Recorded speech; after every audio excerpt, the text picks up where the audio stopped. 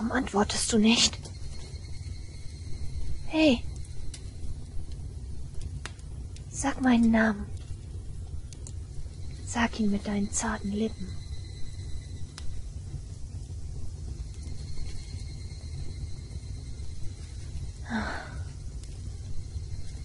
Warum möchtest du nicht sagen? Es ist ja nicht so, als könntest du nicht sprechen, oder? Du machst dir die ganze Zeit nur um Ayan und Gucci Sorgen. Hm? Was ist dir passiert?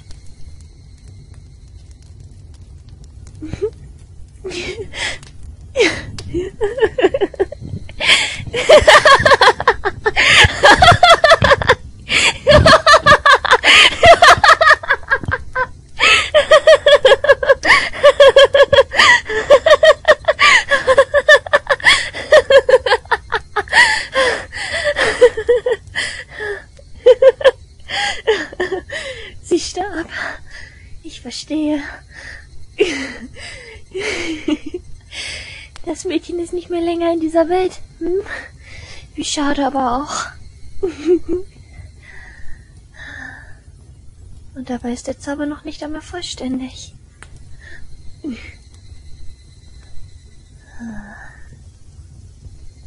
denkst, ich habe sie getötet? Habe ich nicht. Du liegst ein wenig daneben. Ich habe nur einen Fluch auf sie gelegt. Ein Mädchen wie ich, das nicht länger unter Gottes schützender Hand leben kann, hat keine andere Wahl, außer solche Dinge zu tun. Also mit dem verbotenen Handeln und sowas. Das Siegel auf dem Amulett, welches ich benutzt habe, ist immer noch nicht verschwunden. Wenn ich es benutze, kann ich die verfluchte Person denselben Schmerz spüren lassen, den ich spüre. Das Leiden, das ich durchmachen musste, als ich mich von Gott abgewendet habe. Den Schmerz, den ich fühlte, als du mich betrogen hast. Was ich gefühlt habe, als ich dich betrogen habe. Und mein Hass gegen Ayano Koji. Wenn ich diesen Schmerz zusammenzähle, wird er über die Person herfahren, die ich ausgewählt habe.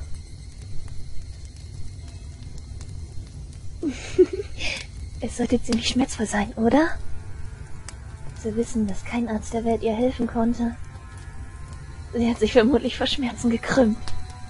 Der Zauber wäre vollständig, wenn ich dieses Amulett verbrennen würde. Denn im Flucht zu urteilen, würde das Herz dieser Person mit dem Verbrennen des Amuletts aufhören zu schlagen. Aber sie starb, bevor ich es überhaupt verbrennen konnte. es ist fast so, als ob ihre Gefühle für dich so stark waren, dass ich das Amulett nicht be benötigte.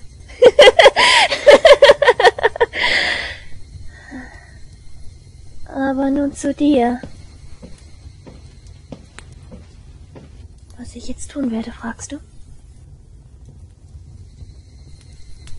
Ich werde dich reinigen. Du wurdest von dem Schmutz dieser Welt vergiftet. Und ich ebenfalls. Dennoch möchte ich wenigstens dich retten. Mir ist es egal, welche Strafe auf mich wartet. Ich möchte dich retten.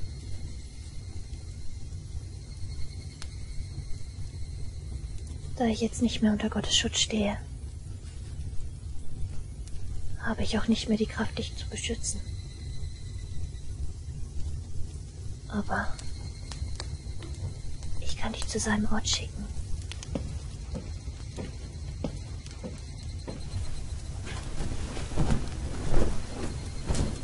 Das ist Reinigungswasser.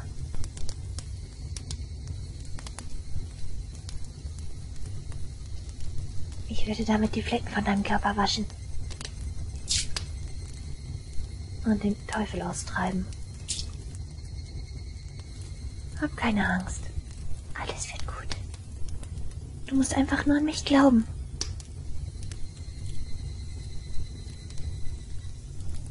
Ich werde nicht zulassen, dass du weiterhin befleckt wirst. Weiche Teufel, sei gereinigt. Weiche Teufel, sei gereinigt. Weiche Teufel, sei gereinigt.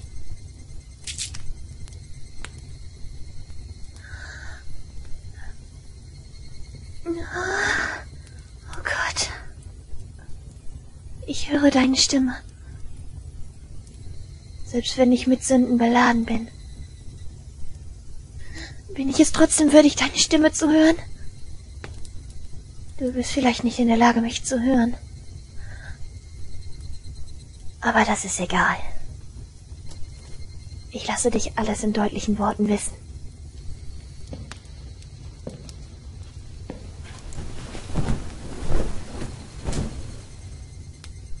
Dieses Schwert. Laut den Aufzeichnungen im Tempel trägt es den Namen Yamotsu Hirasaka. Es kann durch alles schneiden. Und es wird dich nicht in das Land der Toten schicken. Allerdings wird es dich in das Land Gottes führen. Hab keine Angst. Übrigens, bringen deine Entkommensversuche nichts.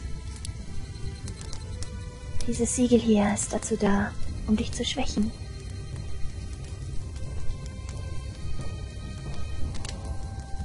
Alles ist in Ordnung. Du wirst nicht sterben. Du wirst dazu in der Lage sein, zu Gott aufzusteigen.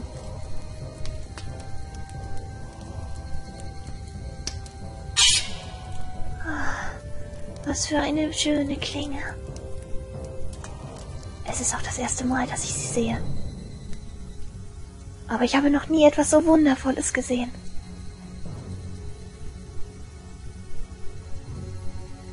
Mit diesem Schwert werde ich dich sicher zu Gottes Thron bringen können.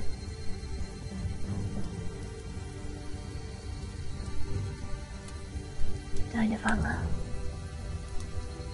So warm und weich. Wenn ich dich doch so berühren hätte können, bevor das alles passiert ist.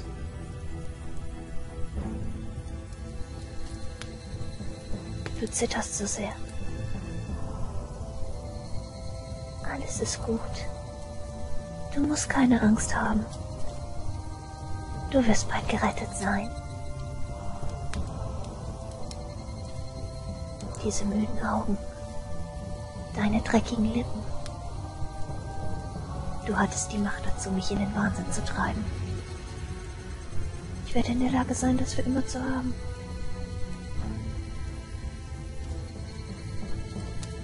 Du sagst, es sei nicht das Problem? Mache ich etwas falsch? Ah. Nun verstehe ich. Du hast Angst, allein zu gehen, oder? Aber keine Sorge. Ich komme gleich nach dir. Deswegen sage ich, Süßes.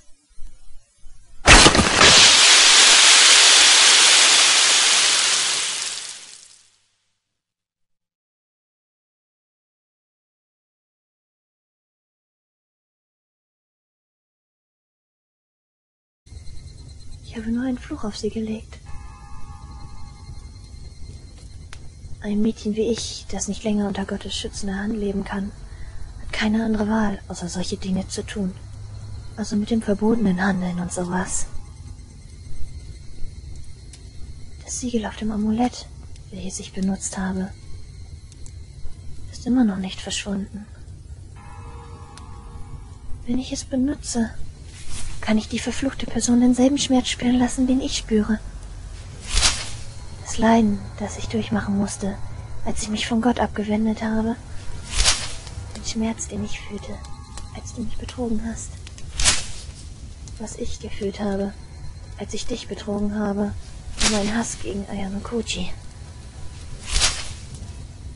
Wenn ich diesen Schmerz zusammenzähle, wird er über die Person herfallen, die ich ausgewählt habe.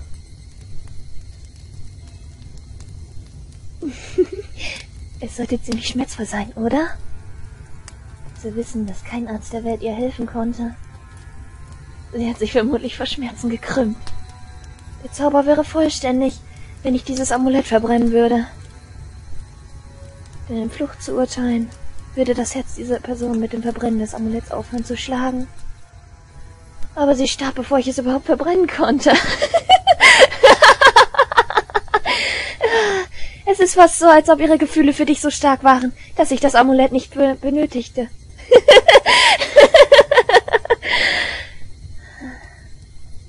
Aber nun zu dir. Was ich jetzt tun werde, fragst du? Ich werde dich reinigen. Du wurdest von dem Schmutz dieser Welt vergiftet. Und ich ebenfalls. Dennoch möchte ich wenigstens dich retten. Mir ist es egal, welche Strafe auf mich wartet. Ich möchte dich retten.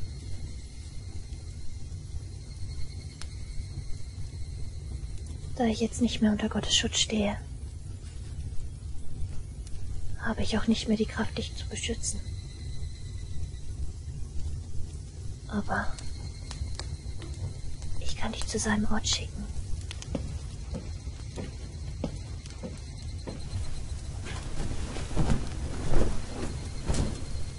Reinigungswasser.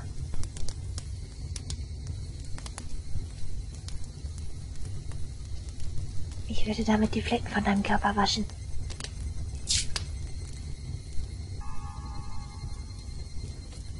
Ein Mädchen wie ich, das nicht länger unter Gottes schützender Hand leben kann, hat keine andere Wahl, außer solche Dinge zu tun. Also mit dem verbotenen Handeln und sowas.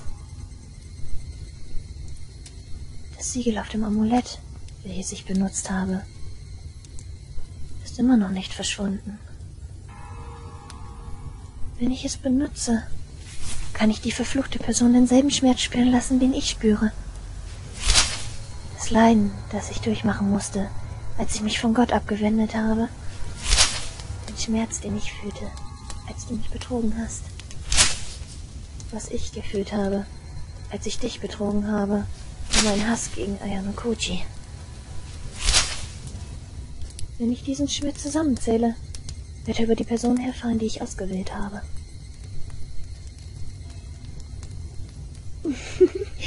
es sollte ziemlich schmerzvoll sein, oder? Zu wissen, dass kein Arzt der Welt ihr helfen konnte. Sie hat sich vermutlich vor Schmerzen gekrümmt. Der Zauber wäre vollständig, wenn ich dieses Amulett verbrennen würde. Denn in Flucht zu urteilen, würde das Herz dieser Person mit dem Verbrennen des Amuletts aufhören zu schlagen. Aber sie starb, bevor ich es überhaupt verbrennen konnte. es ist fast so, als ob ihre Gefühle für dich so stark waren, dass ich das Amulett nicht be benötigte.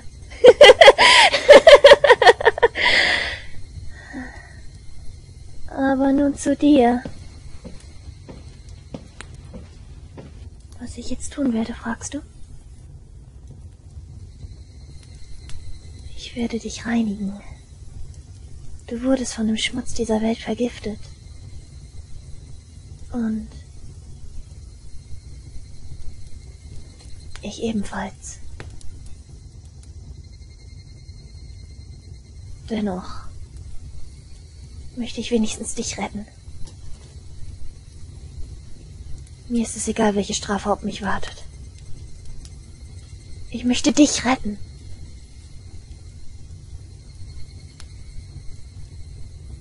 Da ich jetzt nicht mehr unter Gottes Schutz stehe, habe ich auch nicht mehr die Kraft, dich zu beschützen.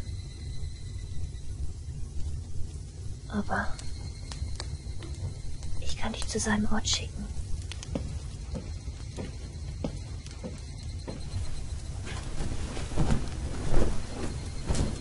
Das ist Reinigungswasser.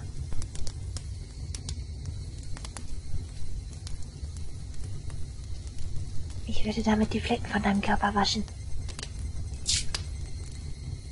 Und den Teufel austreiben.